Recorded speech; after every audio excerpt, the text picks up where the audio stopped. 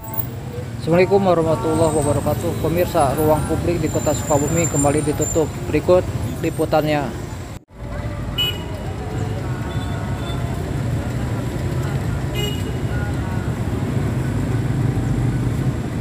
Pemerintah Kota Sukabumi kembali menutup ruang publik demi untuk membatasi mobilisasi warganya.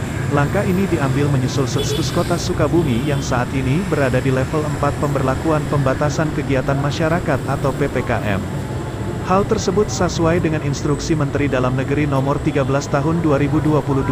Penutupan sementara ruang terbuka publik seperti Lapang Merdeka dan alun-alun, juga tempat publik lainnya yang berada di wilayah Kota Sukabumi.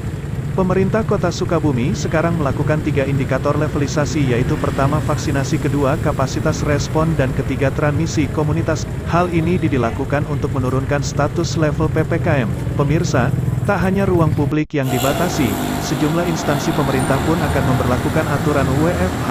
Namun ini tidak termasuk pada SKPD atau Satuan Kerja Perangkat Daerah, melainkan hanya akan diberlakukan terhadap instansi yang pegawainya banyak terkonfirmasi COVID-19.